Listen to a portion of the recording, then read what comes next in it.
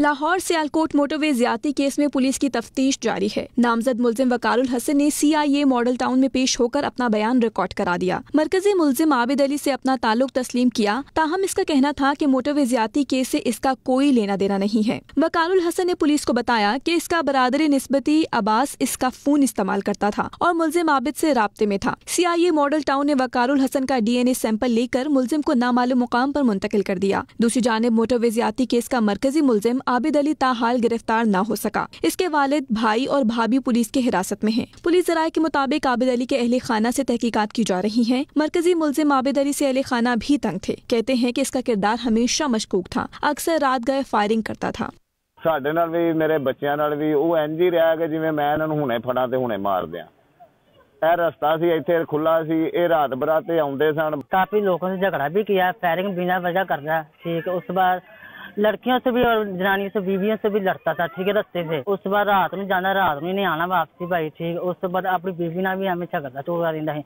उस बाद मसाया साढ़े नाल भी झगड़ता है। वज़ीर आज़म इमरान खान का कल दौरा लाहौर मुतव है। इन्हें मोटरवे ज़्यादा केस की रिपोर्ट पेश की जाएगी।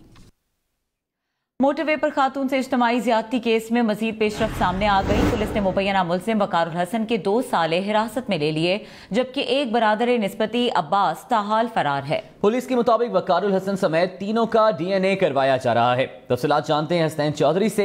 हसनैन, बताइएगा कि मोटरवे ज्यादती केस में हिरासत में लिए गए अफराद ने कुछ बताया है पुलिस को?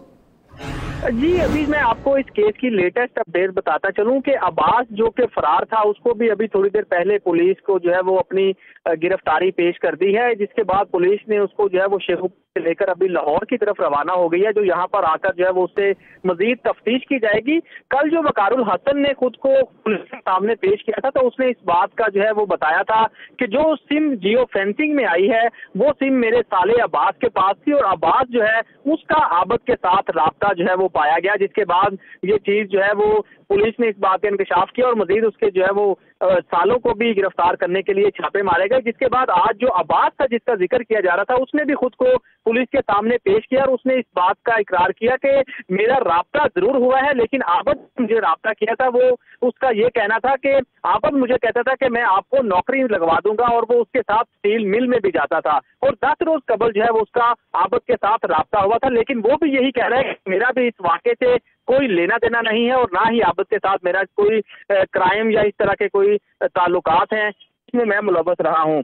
तो दूसरी जानी पुलिस ने अब उसको हिरासत में लेकर लाहौर की तरफ़ रवाना हो गई अब वो लाहौर पहुंचेगी, जिसके बाद जो है वो उससे मजीद तफ्तीश की जाएगी। और बाकी जो कल अफराद हिरासत में लिए गए थे, उन तीनों का डीएनए जो है वो सैंपल कल ले लिए गए थे, जिसकी रिपोर्ट जो है वो अड़तालीस घंटों बाद आएगी। मजीद जो आबद अली है, उसकी गिरफ्तारी के लिए पुलिस छापे मार रही है। जी।